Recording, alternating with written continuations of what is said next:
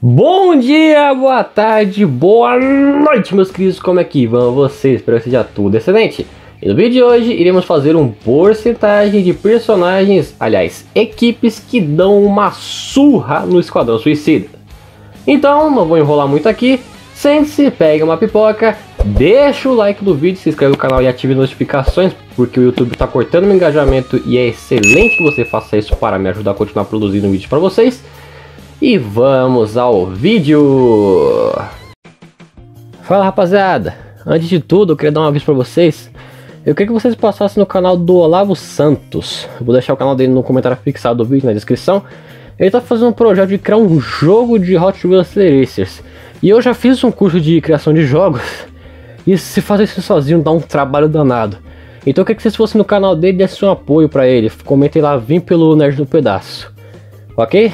Bem, Fica o vídeo aí, rapaziada.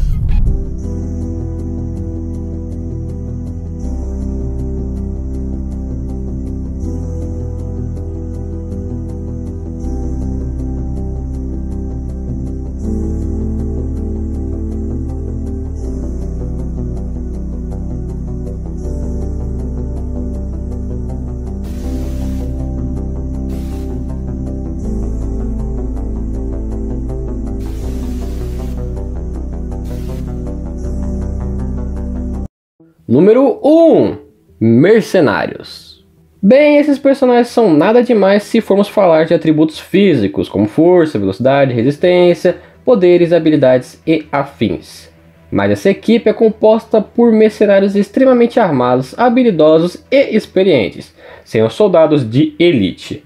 Levando em conta que alguns integrantes do Esquadrão Suicida não são super-humanos, os mercenários poderiam vencer sim, Personagens como a Alerquina, por exemplo. Chance de vitória: 10%. 2.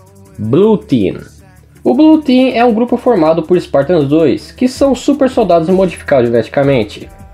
Aqui o negócio iria ficar difícil para o esquadrão, tendo em vista que os integrantes do Blue Team têm atributos físicos sobre-humanos, além de serem bem armados com equipamentos do futuro, que são muito tecnológicos.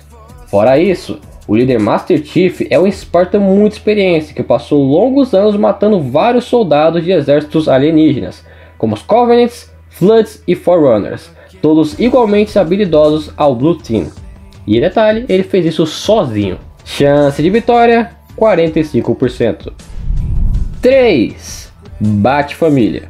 A Bat-Família já seria oponentes desafiadores para o Esquadrão Suicida, Todos os membros são acostumados a enfrentar meta-humanos e criminosos do mais alto nível de periculosidade. Além disso, todos têm um treinamento marcial comparável ao do Batman, e o Batman domina mais de 120 artes marciais diferentes. Para terminar de f*** lá do Esquadrão Suicida, todos são bem equipados e muito bem armados. Chance de vitória: 60%. 4. Os 10 Mandamentos. Bem, galera, os 10 mandamentos seriam um terror para o Esquadrão Suicida. Todos os integrantes são milhares de vezes mais fortes que os membros do esquadrão, podendo destruir montanhas com a onda de choque de seus golpes facilmente. Isso um personagem considerado fraco perante o resto dos mandamentos.